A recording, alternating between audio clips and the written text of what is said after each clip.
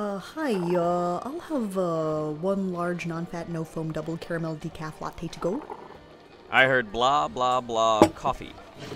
That's not what I said. Yeah, well, when your order's longer than a Louisa May Alcott novel, I tend to tune out. Uh, can I talk to your manager? You've said quite enough. Good day.